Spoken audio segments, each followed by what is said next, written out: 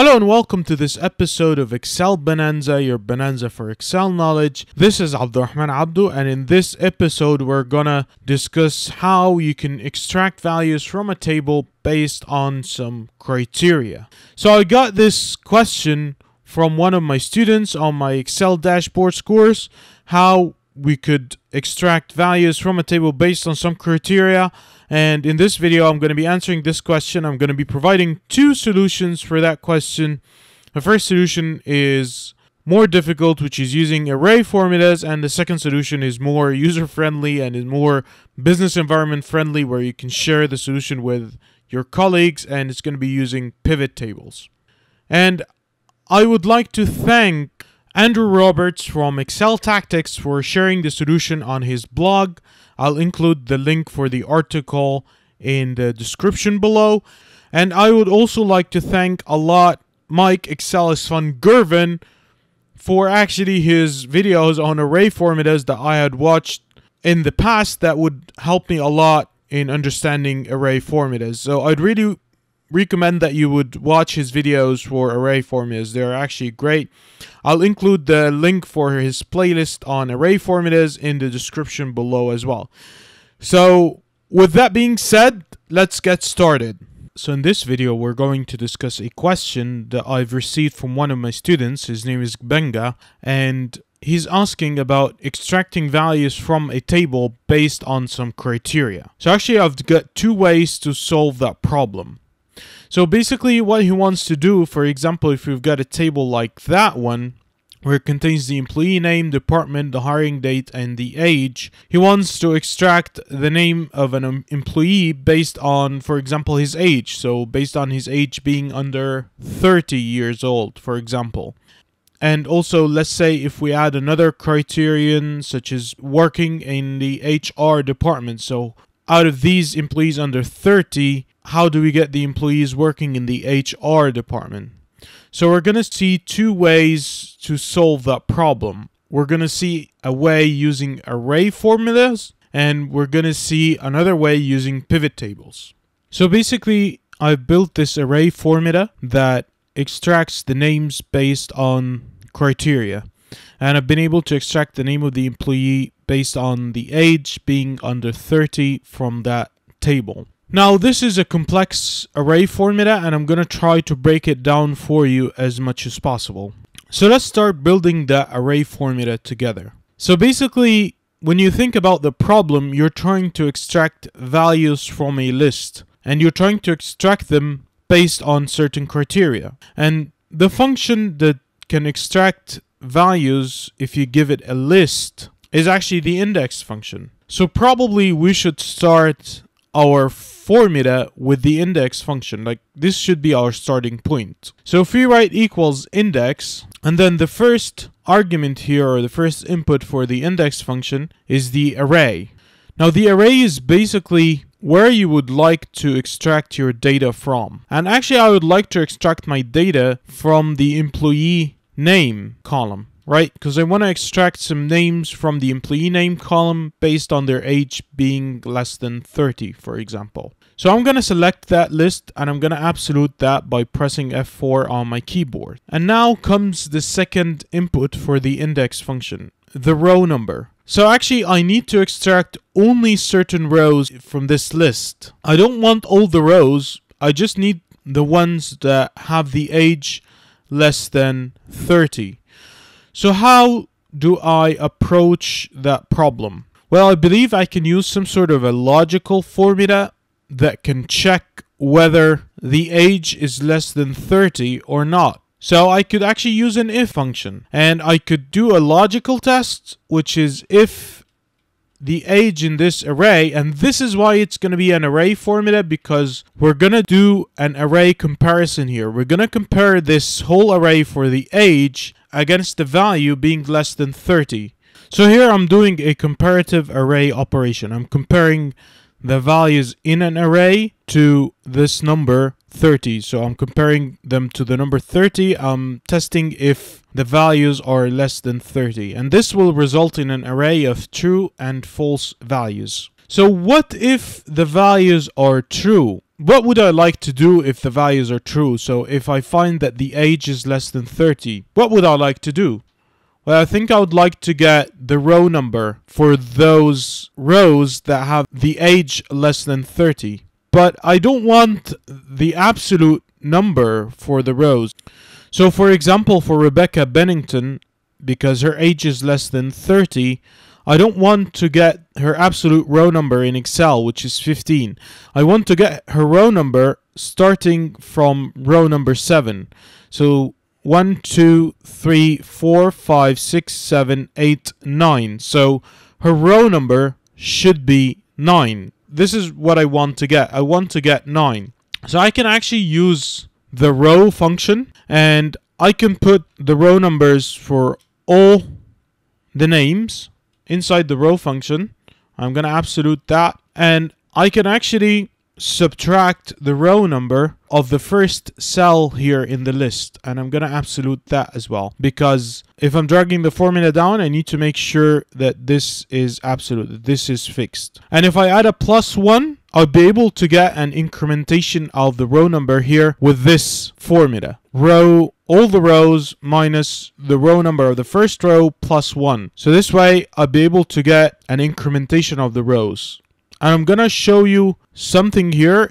I'm gonna show you two explanation columns. Okay, so I've unhidden these two explanation columns. There's one here for the if function and there's another one for the row function. These explanation columns that are in yellow, the yellow of a sticky note, and these are actually explanation columns. The formulas in here, they are not part of the solution, they are just for explanation. So the row function here basically, or the two row functions that I've written here are basically just to increment the numbers of the rows. So they would result in 1, 2, 3, 4, 5, 6. So as you can see here, just an incrementation for all the rows that are containing my solution.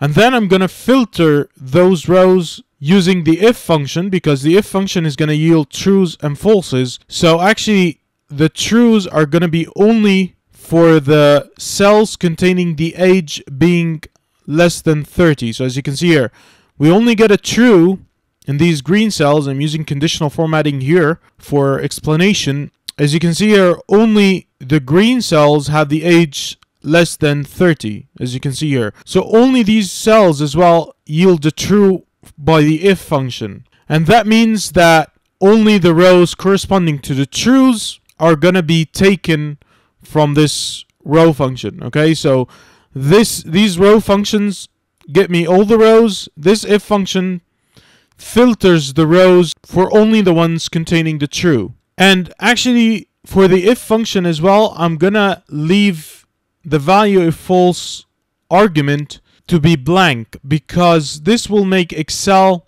give a false if I do not meet the test, which is what I want. I want any cell not to meet the test to give me a false, okay? So I'm going to leave the argument for value of false empty and it's actually an optional argument, okay? So if I close the brackets for the if, I'm going to leave the argument blank. Okay, so let's examine what the if function outputs.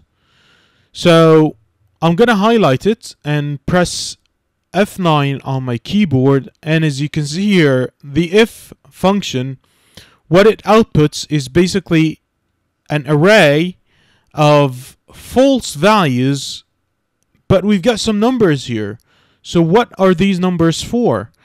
These numbers are actually corresponding to the row numbers that contain the age being less than 30. So as you can see here, Rebecca Bennington, her row number is 9 starting from the row containing the name of the first employee. And as you can see here, we get the number 9 from there. And for example, Carmelia Izagir is number 19, and we get the number 19 in her position.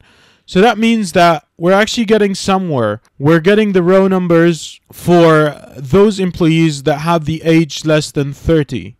Hmm. So how do we extract these row numbers from this array?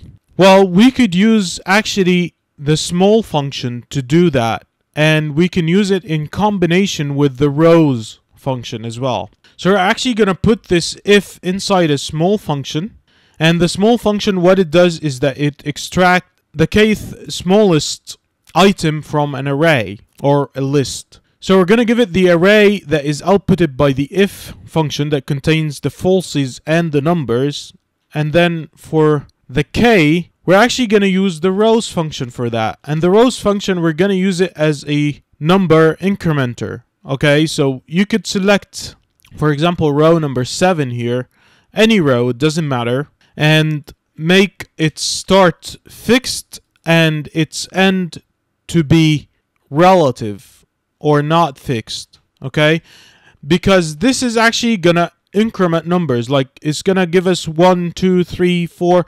So that means we're gonna get the first smallest number in the array that is outputted by the if function, which is gonna be 9. And then when we drag the formula one step down, we're gonna get the second smallest number, which is actually gonna be 19, okay?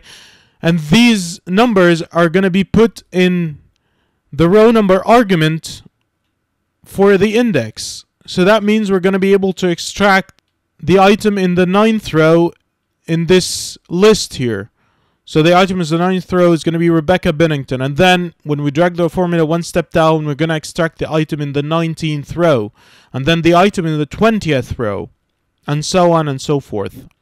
So the rows function is going to help us to increment numbers for the small function. So we're going to close the brackets for the small function here. And then the column number is going to be a 1 or we can omit it and Excel will just give it a default value of 1 but I like to explicitly put that. So it's going to be just a 1 for the index function. So here the index function has an array the array which is the list of values that we need to extract the data from are basically the list of names the whole list. And then we're going to get which row numbers exactly using this formula combination that is inside the small function. So we're gonna filter the values using the if and with the help of the row functions we're gonna get only the rows that contain the age less than 30 and then using the small function we're gonna extract the numbers from the array containing the numbers and the false values and using the rows we're gonna get the first smallest, second smallest, third smallest numbers from that list. Now if you press Ctrl and Shift and Enter, we're actually going to get the first name that has its age less than 30. If we drag the formula down, we're going to get all the names. Okay, but now in some rows we're going to get an error. So how do we get around that error? Well, we know actually that the if error function can do that for us, right? Because we can do if error and then a blank. If you get an error control shift enter.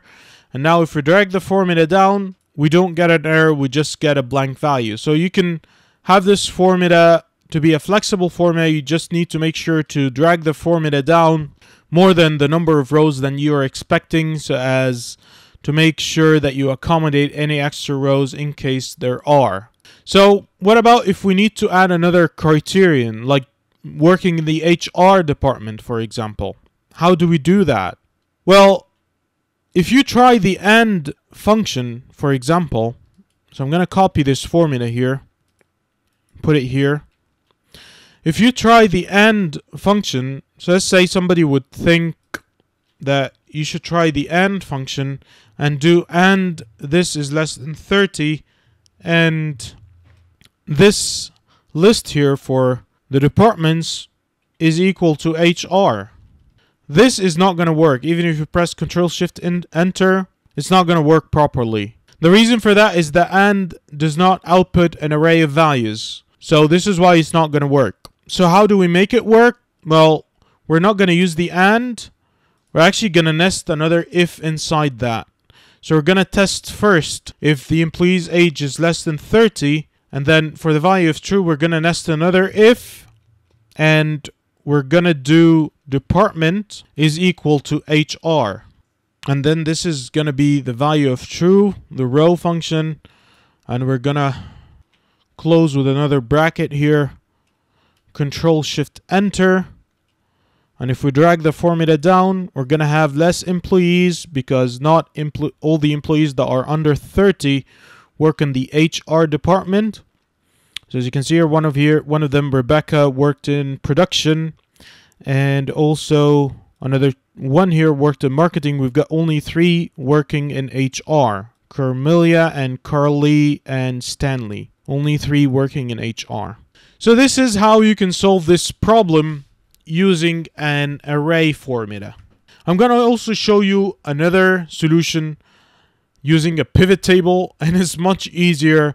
And I believe that this is the solution that you should try to opt for in a business environment where you're actually sharing workbooks with other people because the percentage of Excel users who understand array formulas is a low percentage and somebody can just try to edit the formula and press enter instead of control shift enter because you cannot do an array formula with just enter. You need to do control shift enter. After you write the formula press enter and so the formula is just screwed up okay? So this is actually a more practical solution. So let's see the pivot table solution.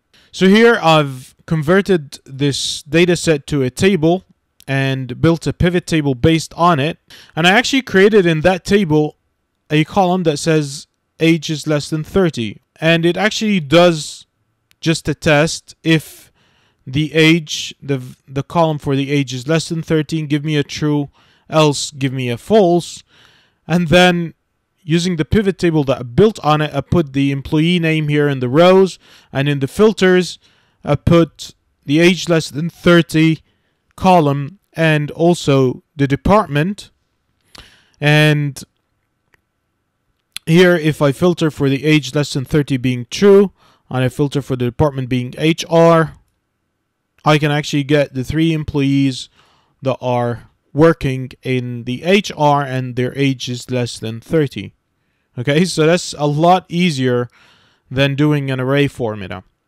But the drawback for for pivot tables is basically that they need to be refreshed so the results are not updated instantly whenever the table is changed whenever the data in the table is changed you need to make sure to refresh it I've got a shortcut here on my Excel, but you can do data and then you can click on refresh all here or refresh the pivot table. It doesn't matter. Refresh all, refresh all pivot tables.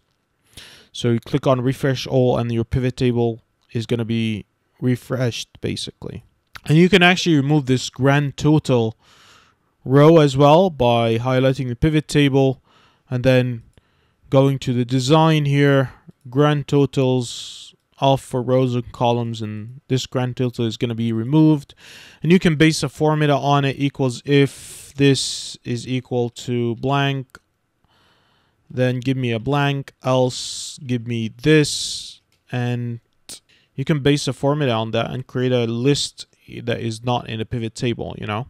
So there you go two solutions for that problem if you like the video press the like button and share it with your friends. And please subscribe to my YouTube channel.